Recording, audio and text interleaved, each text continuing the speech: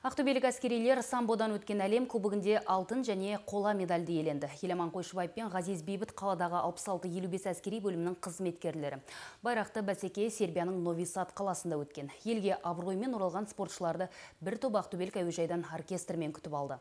Айта кеткен жөн Еламан Қойшыбаев медальмен қоса қараша айында Арменияда өтетін әлем чемпионатына жолдама алды.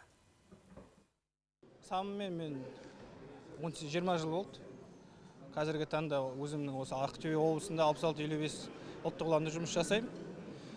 Сода жұмыс жасап жүріп осылай спортпен айналысып алла қаласа енді бұйыртса алтын медальға әлем чемпионатына барамыз.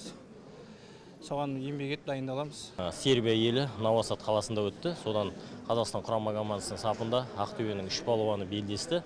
Сол қазіргі әлем чемпионатында 88 елде әлем чемпионаты өтеді. Ереван армения елінде ноябрь қараша айында соған іріктеулер өтіп осы ақтөбе облысынан осы еламан қойшыбай қатысатын болды.